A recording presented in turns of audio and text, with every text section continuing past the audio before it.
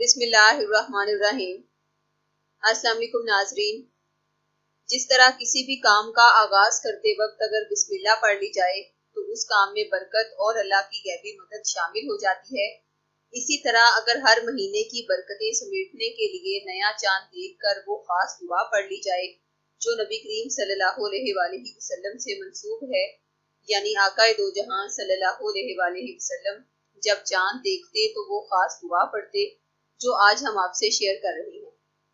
नाजरीन, ये ऐसी बाबरकत दुआ है कि खास तौर पर इस्लामी महीने का नया चाँद देखते वक्त इस नीयत से पढ़ ली जाए कि ये रसूल खुदा सल्लल्लाहु अलैहि वसल्लम की सुन्नत मुबारक है। तो यकीन करें कि इस पूरे महीने की बरकतें आप पर निछावर होंगी। ये बात हम अपने तजर्बे और मुशाहिदे की रूह से बता रहे हैं, क्योंकि हमारे रूहानी सिलसिले के तमाम मेम्बरान हर महीने का चाँद देखकर ये दुआ ज़रूर पढ़ते और यही वजह है कि पूरा महीना अल्लाह की गैबी मदद और बरकत का उन पर नजूर रहता है और उनके तमाम काम बसानी होने लगते हैं।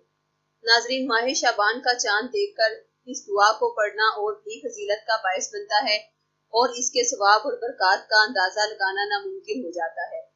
आप इस दुआ को शाबान का चाँद देख कर पढ़े और फिर मुशाहिदा खुद करें कि इस महीने में रिस्क खुद चलकर आपके दरवाजे पर आएगा। आपका कोई भी काम ख्वा कैसा ही अटका हुआ क्यों ना हो, उसके हल होने के आपको आसार दिखाई देने लगेंगे। अगर सालों से घर में बेटे बेटियों के रिश्ते नहीं आ रहे तो इसी माह आपको अच्छे रिश्ते के असबाब भी बनते दिखाई देंगे। नौकरी में तरक्की के चांस इस माह में बेहद बढ़ जाते हैं।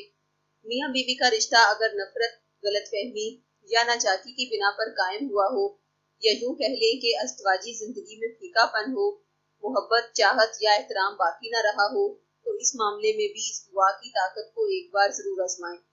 इंशाल्लाह मियाँ बीवी के दिल में एक दूसरे की मोहब्बत फिर से बेदार हो जाएगी। अलगर्ज किसी भी जायज़ मकसद में कामयाबी के लिए इस दुआ को हमारे बताए हुए तरीके के मुताबिक ज़रूर तलावत करें। इस दुआ का ज़िक्र हदीस मुबारक में यूँ आया है। तलहा बिन उबैदुल्लाह से रवायत है कि नबी अकरम सल्लल्लाहु अलैहि वसल्लम जब चाँद देखते थे तो कहते थे अल्लाहुम्मा अहिल्लाहु सलामती वल इस्लामी व रब्बुक जिसका तर्जुमा है मुबारक कर हमें ये चाँद, बरकत और ईमान और सलामती और इस्लाम के साथ। ए चाँद, मेरा और तुम्हारा रब अल्लाह है।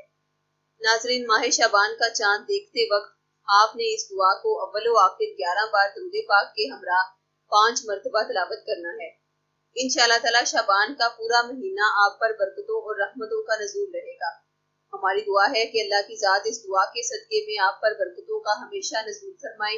आमीन, सुम नाजरीन, अगर आपको ये वीडियो पसंद आए तो इसे लाइक और शेयर ज़रूर करें और हमारे channel black magic protection community को सब्सक्राइब भी कर लें ताकि हर नई वीडियो आप तक बासानी पहुँच सके। शुक्रिया, अल्लाह हाफिज़।